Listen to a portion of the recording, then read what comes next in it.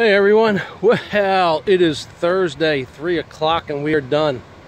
It's been super windy here. It started out sunny and hot today, um, but there's been a steady breeze coming off the ocean all day, a good 15, 20 miles an hour. It was fun thatching, but uh, I got it done. Matt had a hard time handing them to me sometimes because the wind was blowing them right out of his face. So Matt's cleaning up the tools. The bar is completely done. Let's walk over there. The trailer's still not done. It's 3 o'clock. I haven't heard from them yet.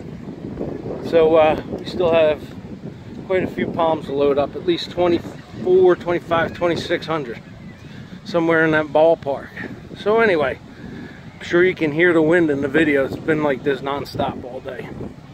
So anyway, all right, we have a six by 8 custom red cedar tiki kev tiki bar with a 8 by 10 roof on it 8 by 10 thatched roof.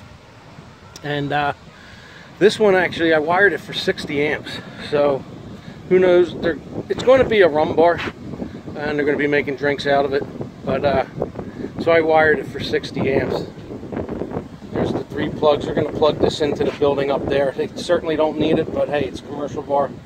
Why not now this one doesn't have all that much because this is an experimental bar for the beach here for them. So if it goes over well, uh, they said next year it'll do something much bigger and more permanent. So this has uh, rope lighting underneath, under there, and uh, I can hardly even see what I'm doing. Has a switch for electric in case they want to put electric in the roof, and four outlets in the bar. So two, these two outlets right there on one circuit, those two outlets right there on one circuit. And then the roof, if they ever want to put anything in the roof, they could tie in right there. And I have that on the switch, so it gets plugged in into the plug, turn the switch on, and then that'll be live. So, and the only other feature this one has is an ice bin. 15 by 20 ice bin. And obviously cabinets. So let's see what it looks like from the other side. Uh, this, I can't believe how windy it's been today. All right, now here's the side where people come up to to order their drinks. Now there is another bar, but it's way over there. And I guess there's uh, waiters and waitresses that come down on the beach from that bar up there delivering food and drink. So this one's going to be strictly for drink. And uh, you come up, get your rum drink, and go back to the beach. Or somebody will get it for you.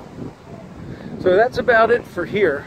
Uh, hopefully that trailer's done soon. If it's not done soon, it's starting to drizzle too.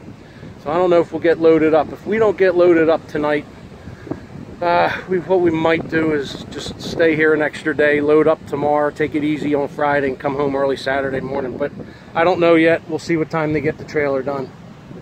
All right, give you another shot of the beach and the wind. Can't see the wind, but I'm sure you can hear it. All right, I'm gonna walk up here if I don't trip first. Oh yeah, who built this bar? Tiki Kev. See what's Matt doing? He's still cleaning up over there. So, on Atlantic Beach, North Carolina, Matt Purple and Tiki Kev. Tiki Kev out.